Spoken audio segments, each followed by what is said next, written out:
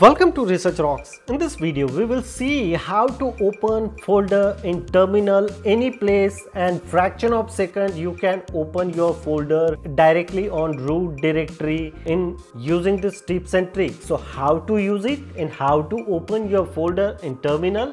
Let's start as a demonstration. Before start the demonstration, please subscribe our YouTube channel Research Rocks. So simply I first open my desktop here. This is my desktop and now I want open this particular folder folder that one max.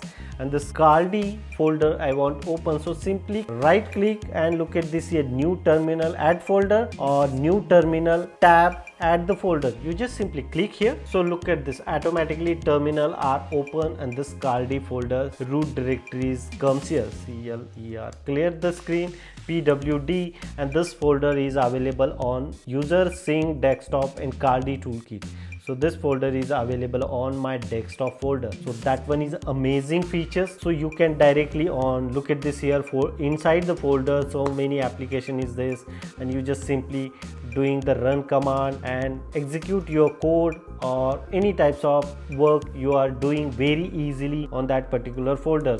You can find very easily the particular folder location and then copy and paste other execution point of view.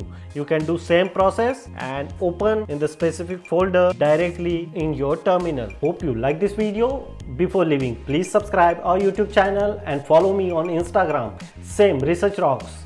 Till then jai hind vande mataram